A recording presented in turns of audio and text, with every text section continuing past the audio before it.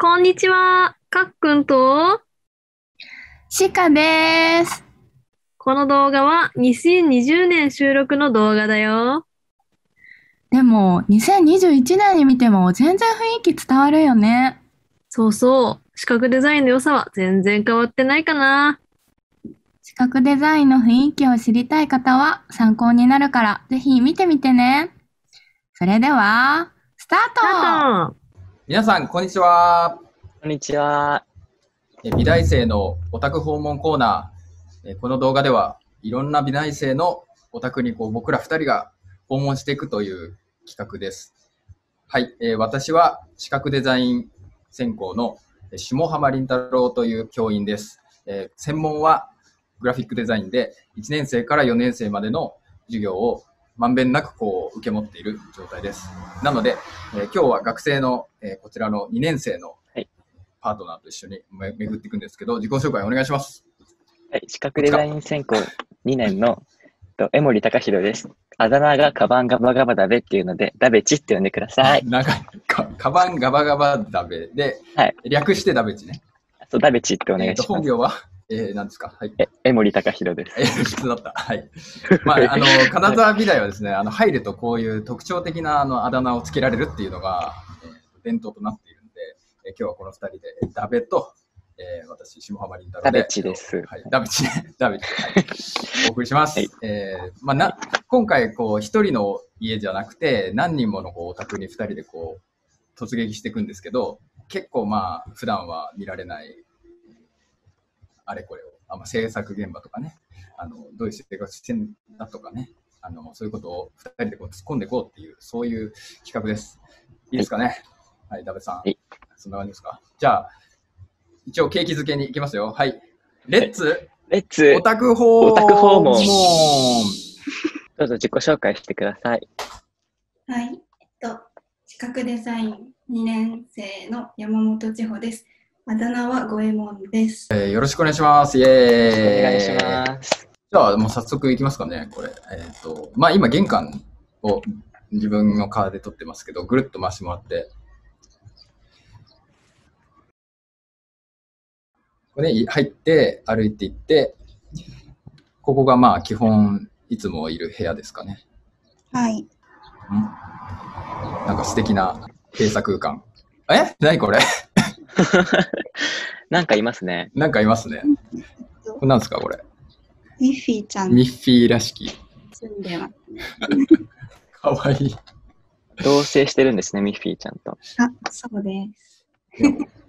俺の記憶だとミッフィーってあの二足歩行だった気がするんですけど、これ、ですよね。なんで四つ四つん這い野生のミッフィー。野生のミッフィーはい、のに帰っちゃったってやつか？あーね。あここ作業場なんですかね。うーん。なるほど。そこに座って、えー作業するという感じですかね。はいまあ、これ、普段のズームのあの授業とかとこんな感じでやってますよね。あ、いつもこうですね。授業中もこうです。ぐるっと回して、あの机の方が映るようにしたら、いろいろ置いてありましたけど、まずでかいモニターが、これはパソコンとつなげる的な？あ、つないでます。これでつないで動画を編集するときとかに使います。確かにね。うんでかくないとやりにくいもんね。そうですね。ポスターとかも。あと、他にいろいろ紹介してもらいたいんですけど、ダベさんなんか突っ込んでってください、これ。えー、たまごっちってそれ、あたまごっちですよね。あなた。はい。なんか、そう、五右衛門と僕、あの、たまごっち友達なんですよ。えそれ、あの、通称たまたもって言うんですけど、たまたまね。たまたまなんです生きてる、生きてる、生きてる。こいつ何っちですか、これは。これは、なんでしょうね。すぐ出てこないじゃん。まあいいや。はい。えー、すげえ。えーやっぱたまごっちいいよね、レトロなうん感じがすごいあって。そのろ横のレトロお菓子は何ですかそれこれは、これはオレンジシガレットは、かわいい。ココアシガレットのオレンジ味ですね。主食？試食。上ラムネのおもちゃを主食？それも。全部主食？試食。奥のいろいろ置いてあるのもどんどん紹介してもらえますか？どんな道具があるのか？それ看護と言ってください。ああ、筆とかね。筆とか、あとは筆ペンとか、最近は万年筆とかも使うし、でここでなんか塗り塗りしたりするんですか？この机で。時々、作業をやるならここですね。あ、あ、そうなんだ。制作作業ここで。イラスト描いたり。あ、そうです、そうです。ああ、でも結構整理されてますね。なるほど。うんえ、例えばその、なんだろう。ピンクの本がいっぱいあるとこからい一個ぬ抜いてもらって、えっ、と、岡崎京子？あたりの。これ。集めてるんですか？これは。なんか普段漫画読まないんですけど、岡崎京子、この人だけすごい好きで集めてますね。左側がめっちゃ可愛いんだけど、これ。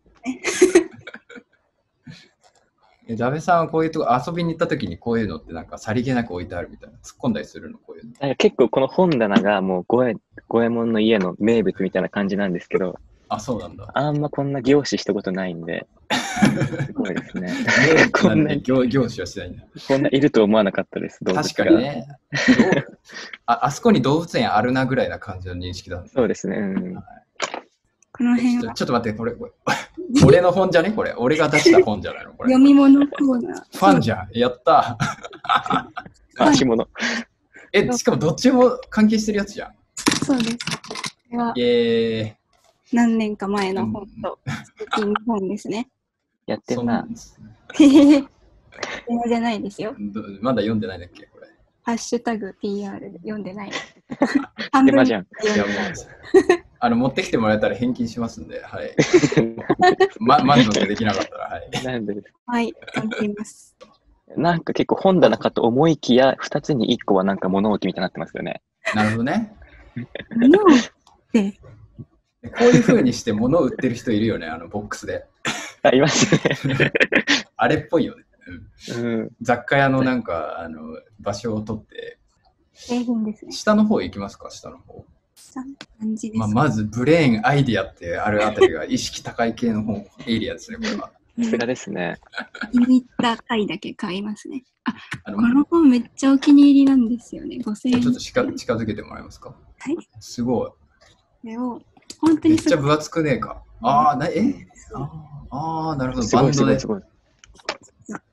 見せたくなっちゃった。これは、見せたくなっちゃった。でそのこっちはこう開くんですけど、ああ、おしゃれ。これがこうこう開くんですよ何？ユーザビリティのかけらもないやつじゃないですか、これ。でこうおお、いいなえー。ー、一つずつ。はい、こちら、あの、抽選で1名様に当たる 限定のいいんです本でごかざいます。え、いいんですか？あの外れてしまった方は、四つん這いのミッフィーが当たります。ニッフィーの方が高いです。あ、そうなんだ。ええー、今の本1万ぐらいすると思った。これがポータブルレコードプレイヤー？これ、ええー、なるほどこ。れがプリンターであ、プリンターね。それいつもその制作の時はそこのプリンターでこう出してるんですか？その、そうです。出力というか自分の制作したものを。うーん。紙を選んで差しはい込んではいはいはい。感じでやってます。で、ここで組み立てるみたいな。ダベさんは割とはい、いお同じく家でやってる。や僕はいちいちファミマに行ってあ、プリントしてますね。意識の違いがもうここでも出 出てますね。いや、ファミマの方がやっぱり質もいいので、うん。あ、そう。このついてないプリンターなんでちょっと困ってますね、最近。なるほどね。あ、分かれるんだね。あの買う派と買わない派と。レコードコレクションっていうか、買ってるのああ、ええ結構な量ですね。小さいやつはどう小さいやつ。やつと、これは8センチ CD 間違えたですね。うん。ああのね、短冊って言われる、えっ、と、これ90年代、80年代にこう、シングルが入ってるってやつだね。良性とか、えめっちゃいい。広瀬。これ見せてもらったことあるの？だ、ダベッチは。あります、あります。一緒に買いに行ったこともありますよ。絶対1枚ぐらい、あれでしょ、抜いて持って帰ってるでしょ。持って帰ってないです。ええそんなことしない。全然。まあ、色が統一性がありますね。花とか。花じゃないか。ドライフラワー飾ビジュアルデザインって感じ。ここだけ切り取って巻きたいよね。いいですね。で後ろのその、アヒルボートみたいなやつが、スワンボートですね。これは、あ、これは自分で描いた絵です。なんか、え、自分で描いたやつ？そうえ制作というか、ーいつ頃？肌以外で。最近？この、なんだろう、お家で過ごしてる時間がすごい長い時に、なるほど。アクリル絵の具で描きました。ステイホームペイント。ですね。とりあえず何でもあのネーミングつけるっていうね。頭で、ームペイント。そうです。ちょっと振り返ってもらって、そのまま、えー全体が見える感じで。ああ、でも綺麗ですね、やっぱり。綺麗ですね、やっぱ。うん。整頓されてる。綺麗なものをデザインするためには部屋も綺麗にするという、意識を感じます。胸に刺さる。下の方はどうでした？下の方。はい。もっと下に行くと、四つん這いのミッフィー。あままたがる角度だね、これ。あ、そうです。あこれ座れるんですよね。座ってご飯食べたりしてちょっ。と待って。あの、や 野生のミッフィーにまたがったら家畜になっちゃうよ。それはよよくないんじゃないですか。はい。家畜の上でご飯食べるんですね。え、またがってご飯食べてんだ。めちゃくちゃシュールですけどね、それ一人だったら。ぼーっとするときかわいいなはい。はい。えー、1名様に当たります。そんな感じですか？キッチンもチラ見しますかね？じゃあ、ダベさんちょっと突っ込んでください。キッチンについて。キッチンみたいです。やっぱ五右衛門結構料理するんですよ。うん。いつもなん、か見せてもらうんですけど、そうでしょうか。そんなもうね、自炊女子のキッチンはどんなものかと。どうでしょうか？綺麗ですね、やっぱり。そうだね。なんか、洗い物とか溜まってないしね。え、偉い。本当に偉い。キッチンの横に洗面所なんだ。洗面所っていうか。え、何これ？電子レンジ。あ、ビビった。医療医療機器みたいのもあるなと思って。えーはい。すごいえもうこのキッチンペーパーがちゃんとこういうところにね、このかかってるっていうのがやっぱり生活感ですよね。さすが。そうだね。いいね。はい、このお宅、家賃いくらかって当てるコーナーがあるんですけど、これら何畳でしたっけ？ちょっと把握して、はちあ、違うな。10ぐらいあるんじゃないの ?10 ぐらい。ないか。なんか天候だった気がします。8から、あ、いいね。いいね。いい角度です。あはい。あ。はい。えダメさん、おいくらですか？はい。3万5千円ですかね。あーいい線いそれぐらい気がするなうーん。いや、3万3000円いきます、私は。ずらしてきますね。ちょっとずらしましたね。はい。安いんじゃないかという。なるほど。えー、はい。いかがですか？はい。正解は？正解は3万5千円です。えー、当たったんですけどめっ。ちゃ当たってるし。え、ミッフィーくれますかミッフィー？ミッフィー乗りに来てください。あ、乗りに行きます。家畜になっちゃうやついつでも家畜になっちゃ。はい。えー3万5安いですね千円か、いいね。うん3万5千円でこのおしゃれライフが送れるなんて、いいね。そうですね。はそうですね。なんだろう。金沢に来たら、好きなところで好きなものを買って、好きなところに飾れる生活ができたのが一番嬉しいですね、私は。なんだろう。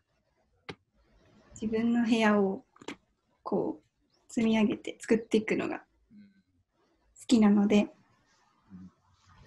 ひおすすめします。いや、すごい満喫してる感じが出てていいですね。ね、ダベさん、ダベッチ。はい。じゃあ、今日、はい今日はありがとうございました。えーありがとうございました。五右衛門さんでした。山本地方2年生、はい、の部屋でした、えーありがとうございました。あありがとうございます。りがとうございます。はい、お疲れ様でした。えー、五右衛門こと山本地方の、えー、オタクでした。えー、ダベさんどうでした？はい、えっと、本人も言ってましたけど、やっぱり、好きなものを好きな時に買って、好きなとこに飾れるっていうのが体現されたような、そうねなんか好きなものに囲まれた素敵な空間だったなと思います。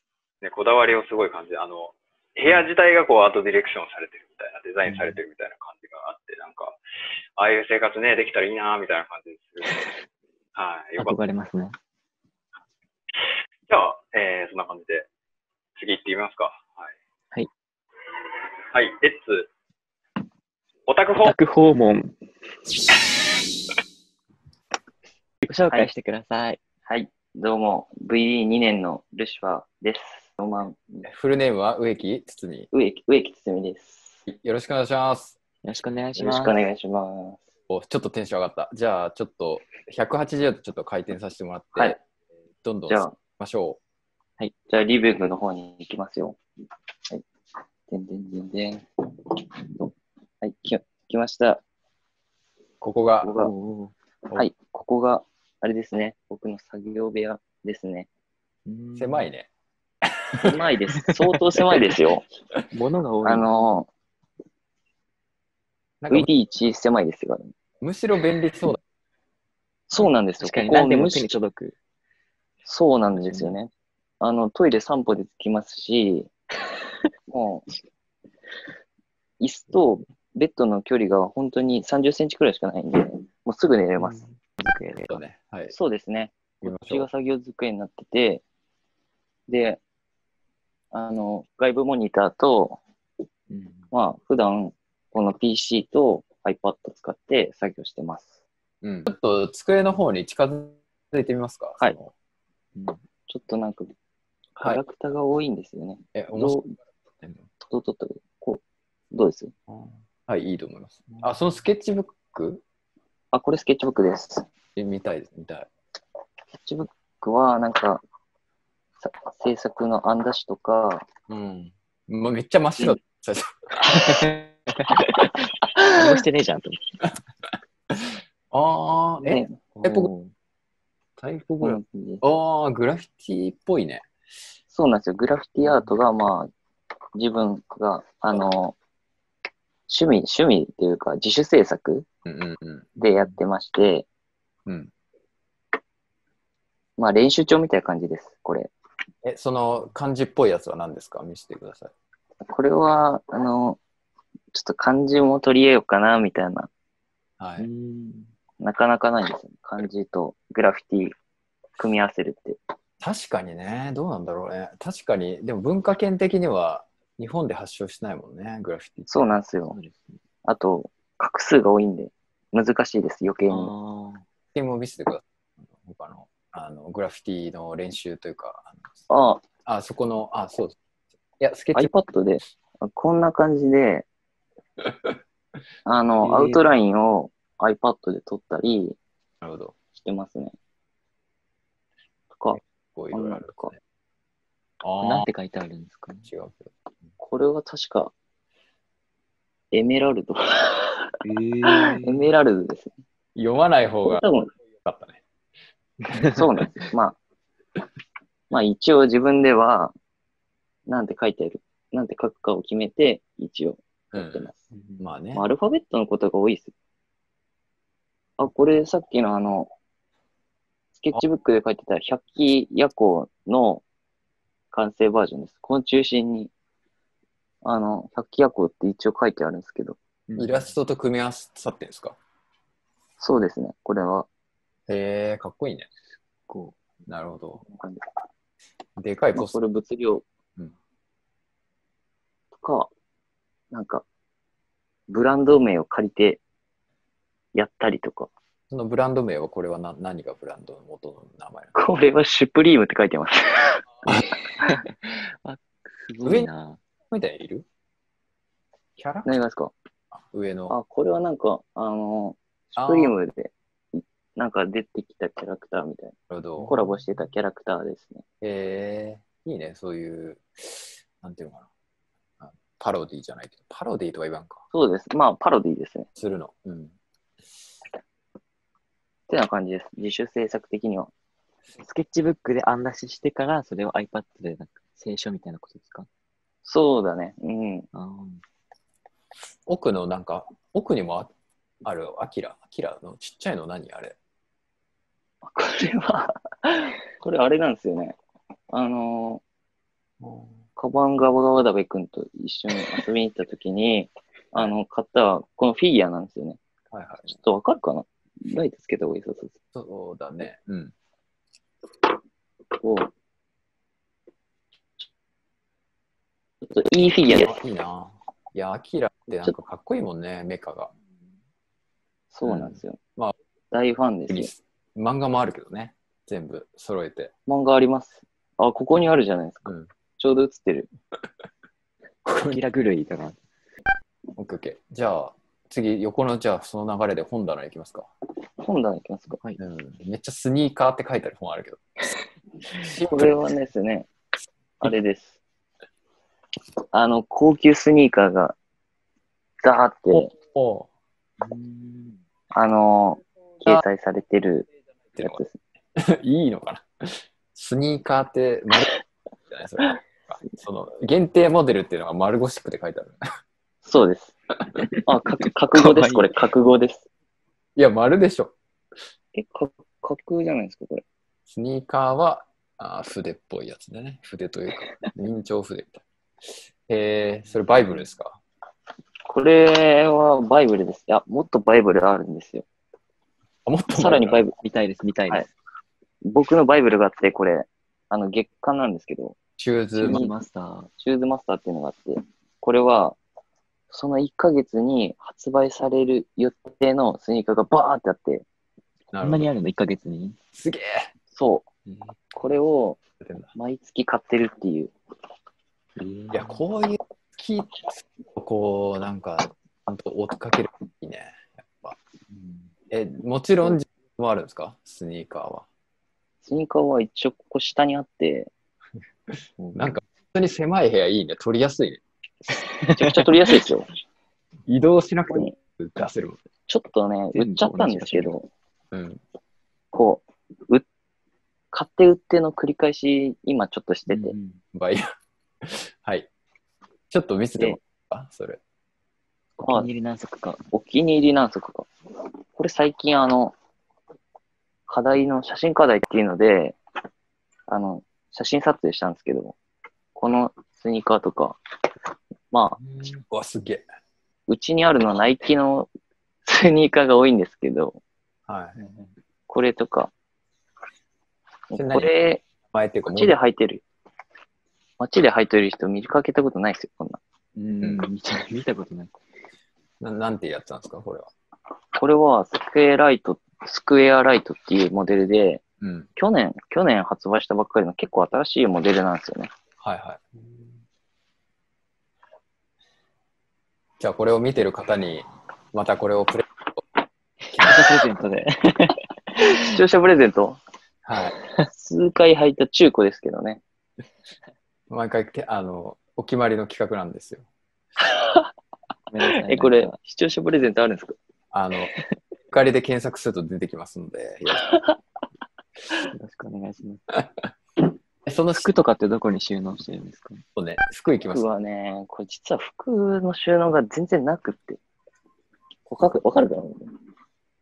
階段、階段と、階段とここの、何もう登登れないけど、それ。そう、そう。これは、もう、登れるとこが、階段がこんくらいしかなくて、ここに、あの、ホームセンターで板を買ってきて、うんここに段をつけて、ここえに、ーあの、まあ、これ、クローゼットです。僕の。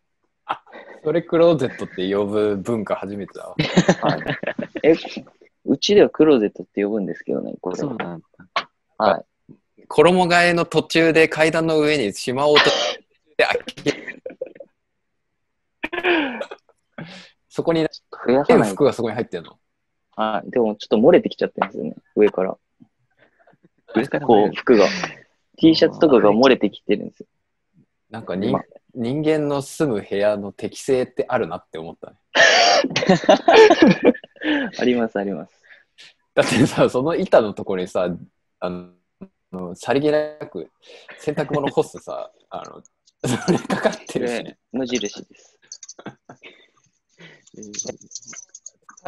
はしご階段を登ると、ロフトがあるんですか？ちょっと見そうなんですよ。この上が、まあ、ちょっと洗濯物干しになってるんですけど、まあ、こうロフトになってて、はなく、ロフトって普通ロフトで寝寝るもんなんじゃないの？違うか。あのですね、ここのアパート、本当設計ミスだと思うんですけど、あの、クーラー届かないんですよ、ここ。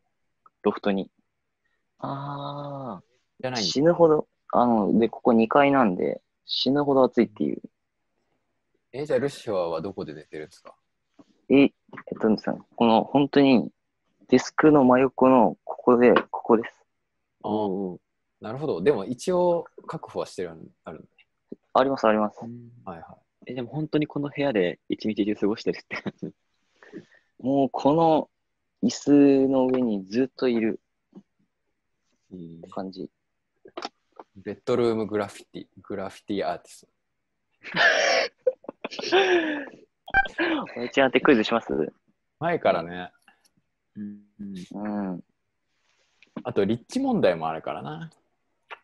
ああ、ありますね。でも狭いし、クーラー届かないし、うん。え、ど学校から近いですよ、でも。あ、マジ？はい。学校から近いから高い、安いって分かるように。すごい。はいええあ3万2000円で。あー、いや、3万2000円。行きたかったな。ちょっと待って。えー、3万ってことはないな。3。いや、3号にします、私は。じゃあ。3号にします？じゃあ、えー、おいくらでしょうか？はい。どうぞ。家賃は、家賃は3万5千円です。えー、高くない？3万5千円ですな。もんか。おー。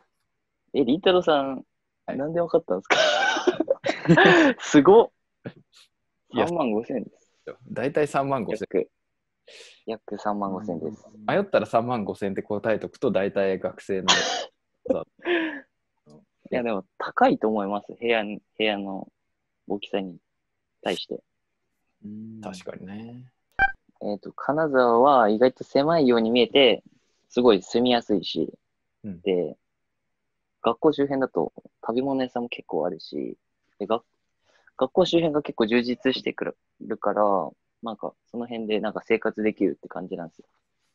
で、まあ、部屋狭くても、みんなが金火だと家が近いから、すぐ遊びに行けるしっていう、めちゃくちゃいい環境です。この辺は。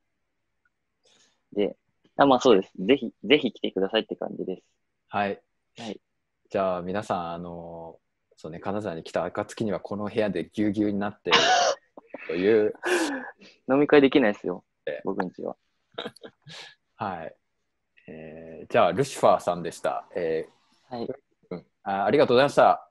では、ありがとうございました。はいお疲れ様です。はい。はい、お疲れ様でした。えー、お疲れ様でした。どうでしたか、えールシファーの家は。そうですね、唯一男子の部屋をお邪魔させていただいて、なんか、ザ男子みたいな、b ボーイな感じが 良かったですね。まあ、でも好きなものでね、結構やっぱりうん部屋ができてて、しかもあの狭いから、あの、ものの配置されてる密度が狭いっていうのが、はいなんか凝縮した感があってよかったですね。あと、逆に一人暮らしだからこその特徴ですよね、狭さが。はい、よかったです。はい。はい